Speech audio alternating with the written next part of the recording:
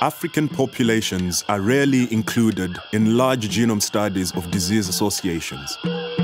But a group of geneticists are determined to counter this lack of inclusion.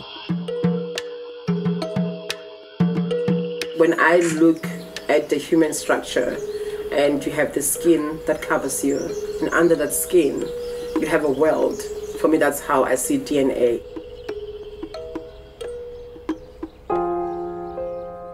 GeneMap is a, is a label name that we have given to our research center that means genetic medicine of African population.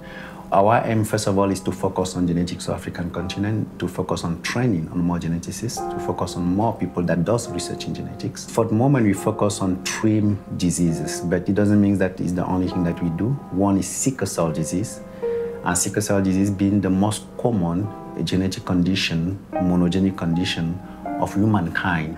Sickle cell anemia is um, it's to do with red blood cells. They are shaped in a banana shape, whereby a normal human being's it's um, shaped in a circular um, shape, if I may put it that way.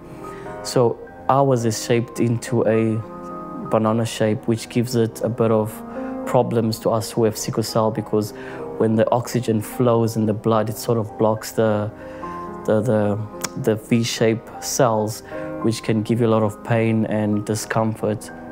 Both parents need to be carriers. My mom was a carrier, my father had the sickle cell disease on them. So basically when they when I was born, I was born with sickle cell anemia because the two of them had it. What we want to do in that disease is to look for factor that makes some of the children Uh, be less sick, another factor the children will be more sick in such a way that we can have maybe some other ways for, for, for treatment for that very specific condition that doesn't have a treatment for now. To this day, there is still some doctors out there that are not familiar with sickle cell anemia. They're not aware of what it is. So basically, the research would be nicer if we could get more doctors on board to know what is sickle cell. So should you be in a, end up in emergency, they would know, okay, this is a sickle cell patient and what to treat you with. The second uh, uh, project we are working is called HI-GENES Africa for hearing impairment uh, genetic research in Africa.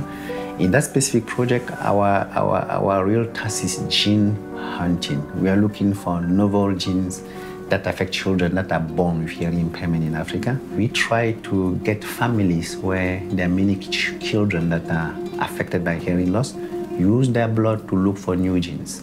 Once we get it, we put it back into the freezer to keep it frozen until we start extraction. So that's usually the same week as when we get the blood.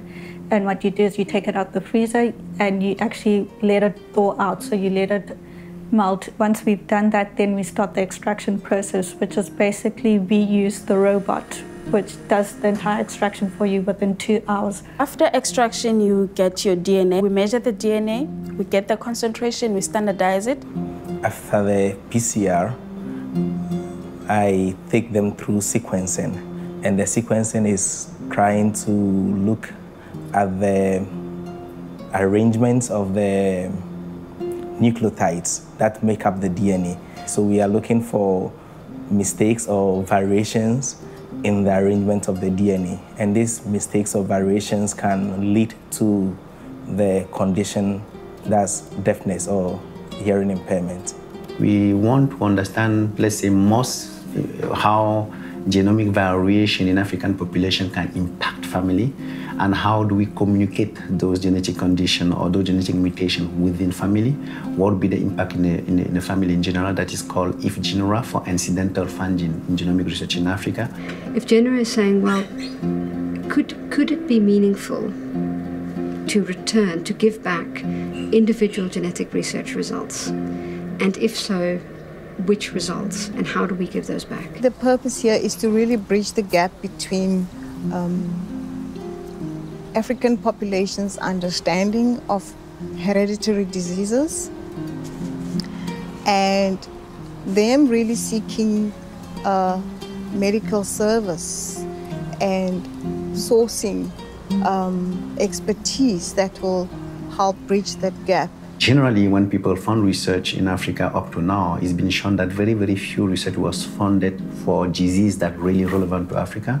So the idea was, first of all, to address those and all those levels by kind of involving uh, the Faculty of Health Science here, changing a little bit the curriculum, improving the curriculum, increase the number of graduates that are African in terms of genetics. So that really the big philosophy behind GeneMap. I believe like life began in Africa. It was just one big continent